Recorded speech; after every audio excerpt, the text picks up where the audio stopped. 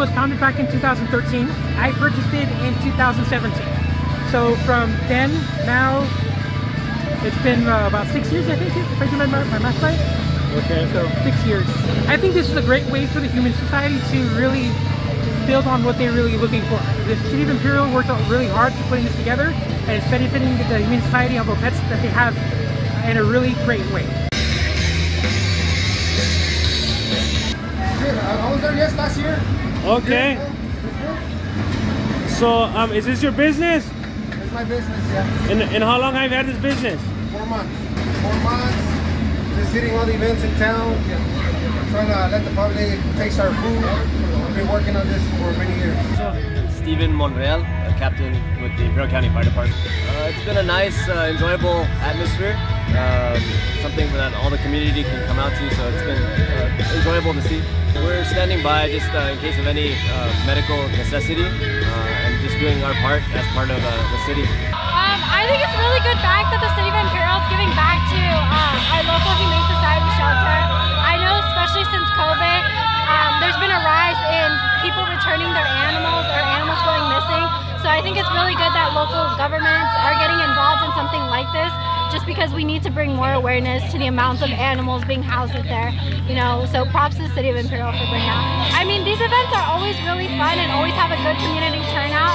So I personally think that more cities should do things like this and should have events that sponsor the Humane Society just because they need a lot of funding and they need a lot of help. But their team already does such a good job that I think we should definitely like get more involved in this thing. It was it was nice. It was calm. I thought, I thought it was uh, there gonna be a lot more people, but it was pretty fun. All the colors and everything. It, it helps uh, local business to show off their, their product to the to the people of Imperial. Loaded waffles. Loaded waffles, right?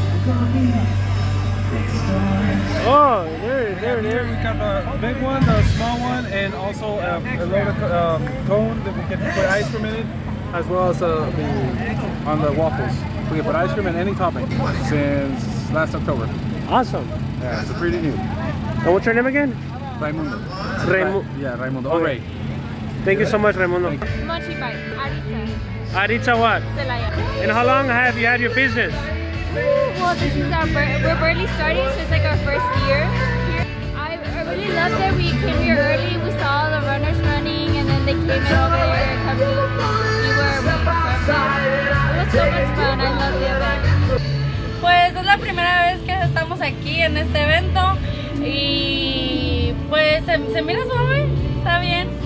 Anthony Lopez. I'm the Parks and Recreation Director for the City of Imperial. Okay. Uh, we had several sponsors for the event. Uh, some of them included Alfred's, um, Unitem's, uh, local uh, banks like First Imperial, and several others. Uh, we have uh, 14 vendors, uh, some food, some uh, treats for animals, since this is a sponsorship for the Humane Society. Is that okay for me to say that? Yeah.